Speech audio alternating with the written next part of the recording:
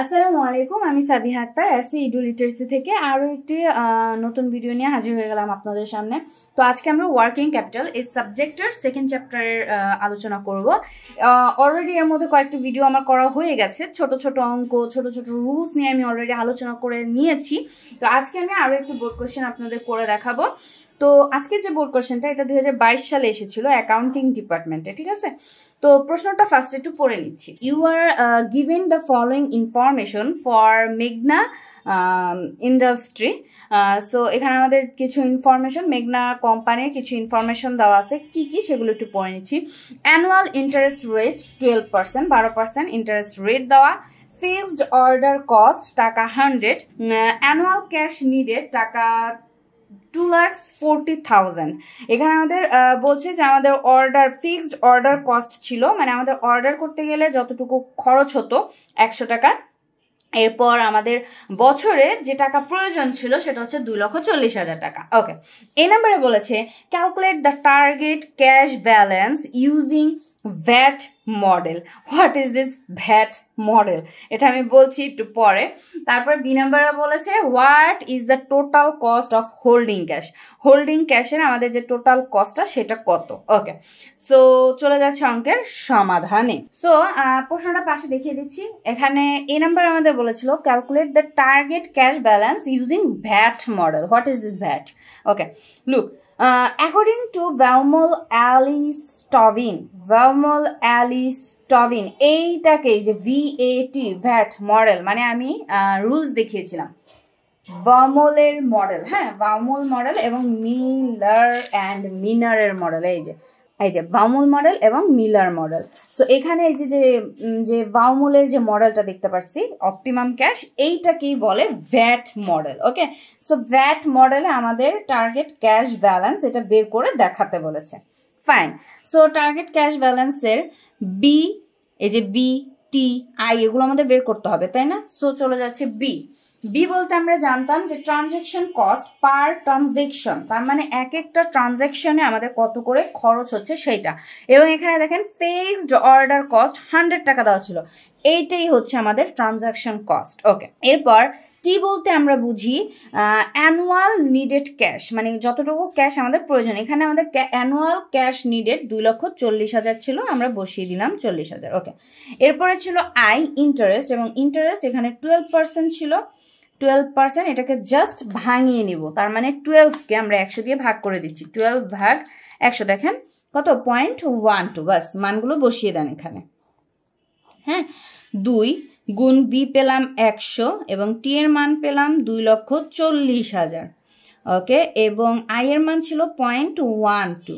তাহলে রুট দিয়ে দিলাম পুরোটা এবং দুই গুণ একশো গুণ দুই লক্ষ চল্লিশ হাজার। আমরা যেটা পেলাম সেটাকে ডাইরেক্ট ভাগ দিয়ে দিচ্ছি পয়েন্ট ওয়ান টু দিয়ে এবং যেটা পেয়েছি সেটাকে রুট অ্যান্সারে ক্লিক করে দিব, আমরা পেয়ে যাচ্ছি। এই যে এখানে অ্যান্সার বাটনটা আছে, এটা যদি ক্লিক করে দেন, তাহলে এই অ্যান্সারটা এখানে চলে আসবে এবং ইকুয়ালে দিয়ে দিলাম, আমরা পাচ্ছি বিশ হাজার টাকা। কত পেলাম? বিশ হাজার টাকা।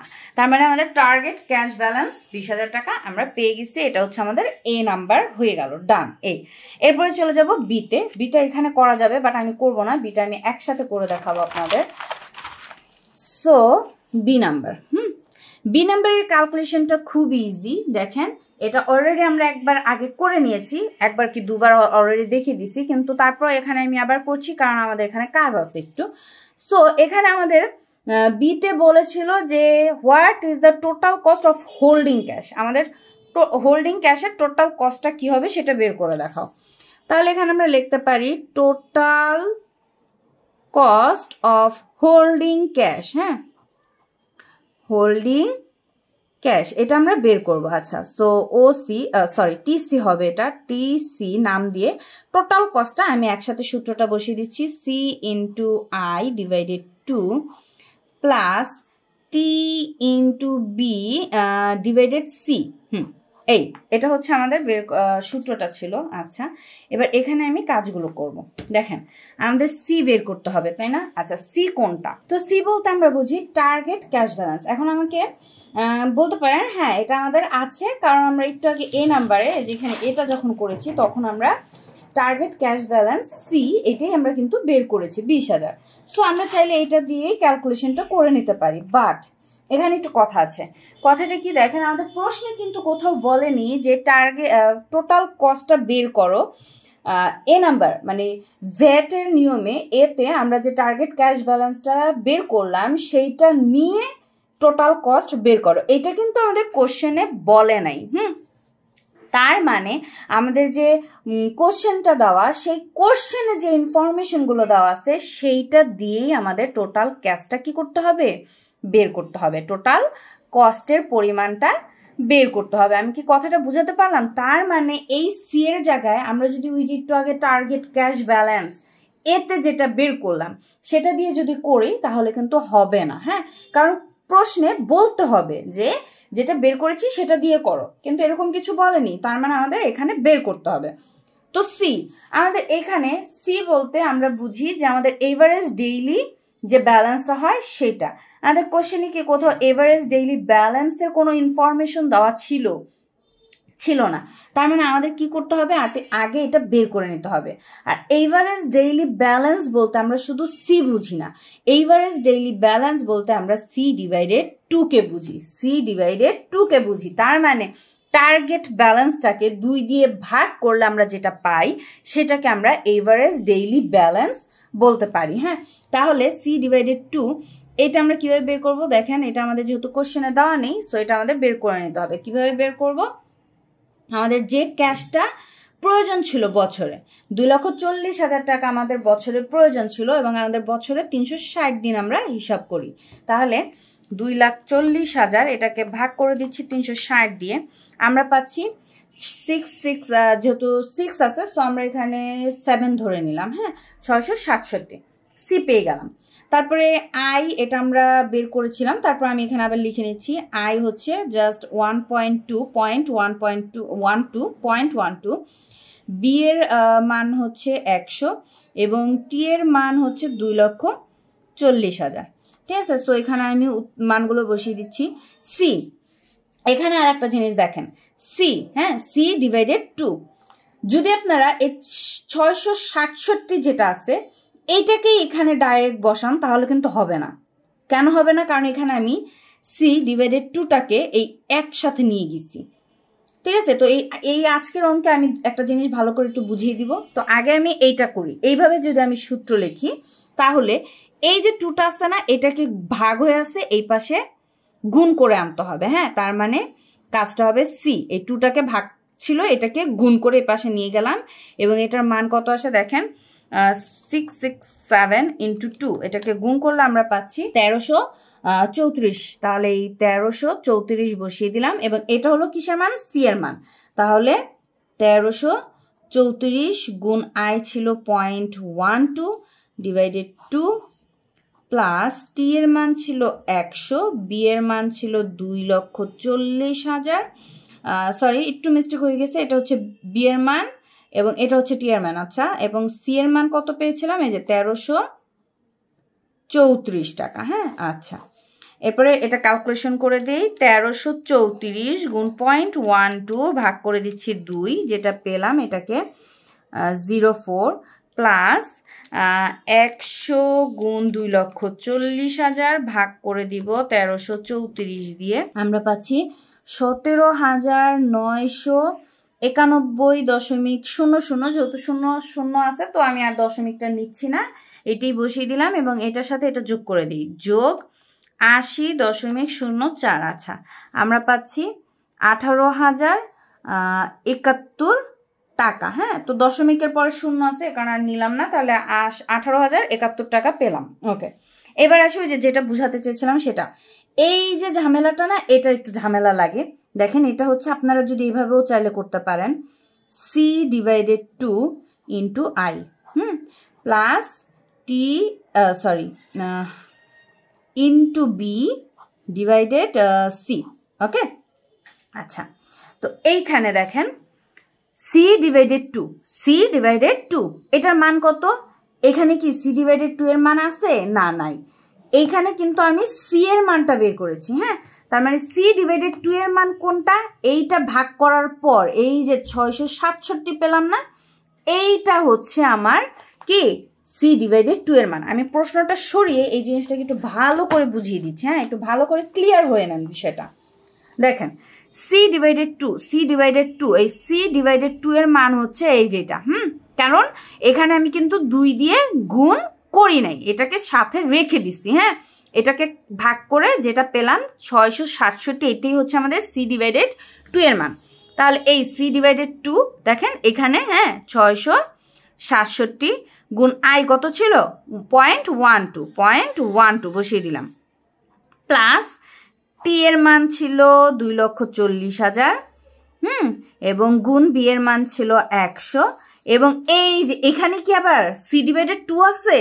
না, এখানে কিন্তু শুধুমাত্র কি আছে? সি আছে। একটু বুঝেন, এখানে কিন্তু শুধুমাত্র সি আছে। তাহলে এই যে সি এর মান কোনটা? এই যে এই লাইনের পর আমি এখানে এসে এই যে দুইটা ভাগ হয়েছিল, দুইটাকে গুণ করে দিছি। এই যে এটা। এটা হচ্ছে তেরোশো চৌত্রিশ, এইটাকে আমরা এই সি এর মান বসিয়ে দিলাম। তাহলে দেখেন, এখানে যদি আমি কাজটা করি ছয়শো সাতষট্টি গুণ পয়েন্ট ওয়ান টু, এই যে, আশি দশমিক শূন্য চার যোগ, এইটা কিন্তু সেম এইটার মতনই। দেখেন, এইটা যা হ্যাঁ এই যে এটা যা এটা কিন্তু সেম হুম? তো এটাকে ক্যালকুলেশন করলে এখানে যত পেয়েছি আমরা কিন্তু ততই পাবো, সতেরো হাজার নয়শো একানব্বই। তাহলে দুইটা যোগ করে আমরা আঠারো হাজার একাত্তর টাকা পাই এটা বসিয়ে দিতে পারলাম। তো এখন বলতে পারেন যে তাহলে এইভাবে তিনভাবে করার মানে কি? ফার্স্ট এইভাবে করলাম, আবার এইভাবে না। আপনাদের যে কোনো একটা নিয়ম আপনারা ফলো করবেন। হ্যাঁ এখানে কিন্তু আমি বলছি না যে এটাও আপনারা করে দেখাবেন। কথাটা ভালো করে বুঝে নেবেন, ঠিক আছে? এখানে হয় আপনারা চাইলে এইটা ফলো করতে পারেন অথবা চাইলে এইটা ফলো করতে পারেন। তবে এইটা ফলো করলে একটু ঝামেলা হয়, সেটা কি? এইটা ফলো করলে এই যে সি ডিভাইডেড টু না এই মানটা বসানোর পর মনে হবে কি, ও, এখানে তো টু আছে, তার মানে আমরা করব কি, এখানে অনেকেই আসি আমরা, অনেকেই আসি আমরা আমরা খেয়াল না করে একটু অমনোযোগতার কারণে, একটু ভুল মানে একটু খেয়াল না করার কারণে, একটু কোনো কারণে একটু হয়ে যা মিস্টেক হলে ভাগ দুই দিয়ে দিব। তাহলে এইটাকে দুই দিয়ে যদি ভাগ দিই, তাহলেই কিন্তু অঙ্কটা ভুল হয়ে যাবে। কথাটা কি আমি বুঝাতে পারছি? সো এইখানে সি ডিভাইডেড টু বলতে ছয়শো সাতষট্টি বুঝি। এখানেও আবার কি করব? ও, এখানে তো এটা বসিয়েছি, তাহলে এখানেও ছয়শো সাতষট্টি হবে। বসিয়ে দিতে পারি।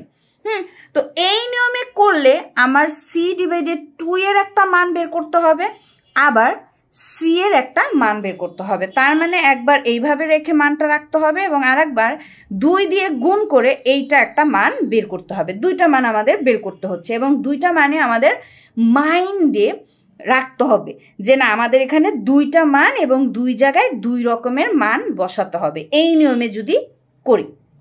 আচ্ছা আর এই নিয়মে যদি করি, তাহলে খেয়াল করে দেখেন, আমি জাস্ট কি করলাম? আমি এই যে ক্যালকুলেশনটা আবার একটু দেখাচ্ছি। এখানে সি ডিভাইডেড টু লিখলাম, লিখে দুই লক্ষ চল্লিশ হাজার বসালাম, তিনশো ষাট লিখলাম। লিখে এটাকে ভাগ করলাম। তাহলে সি ডিভাইডেড টু এটার মান পেলাম ছয়শো সাতষট্টি। তারপরে কি করলাম? সিটাকে রেখে দুইটা ভাগ হয়ে আছে। তো ছয়শো সাতষট্টির সাথে দুইটা গুণ করে আমরা তেরোশো চৌত্রিশ। এই সি এর মান তেরোশো চৌত্রিশ আমি বের করে নিলাম সি এর মান হ্যাঁ? তো এই সি এর মান তেরোশো চৌত্রিশ যেটা আমি বের করলাম, এইটা এইভাবে যদি সূত্র লিখি, এই একটা জিনিস মাইন্ডে রাখলেই হবে যে সি এর মান তেরোশো চৌত্রিশ। এইবার সি এর মান তেরোশো চৌত্রিশ, সি এর মান তেরোশো চৌত্রিশ। দুই জায়গায় একই মান বসিয়ে আমরা অঙ্কটা করে নিতে পারলাম। ওই দুই জায়গায় দুই রকমের মান কিন্তু মনে রাখতে হচ্ছে না। এখানে কিন্তু আমাদের মাথার উপর চাপটা একটু কম পড়ছে, ঠিক আছে? একটু কম পড়ছে। যে সি এর মানটা আমি বের করেছি, সি এর মান চৌত্রিশশো মানে তেত্রিশ এক হাজার তিনশো চৌত্রিশ এক হাজার তিনশো চৌত্রিশ। সি এর মান এক হাজার তিনশো চৌত্রিশ, দুই জায়গায় বসিয়ে দিয়ে বাস, এক ধাপে অঙ্কটা শেষ।